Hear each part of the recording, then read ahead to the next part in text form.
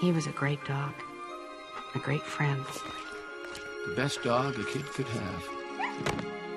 When you lose someone you love, they never really leave you. They just move into a special place in your heart. I don't want him in my heart. I want him here with me. I know. If we could bring him back, we would.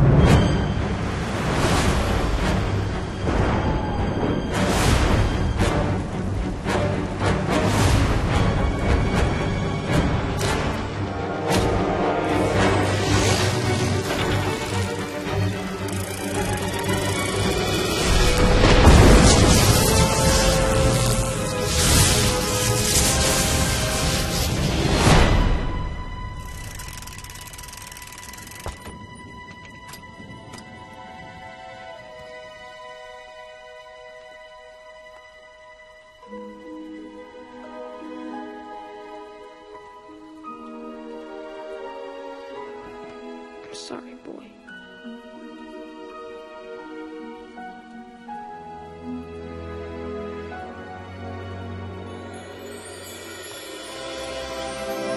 Sparky!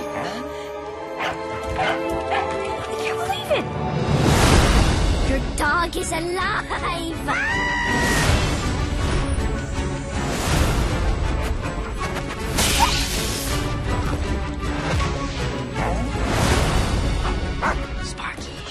Easy, boy.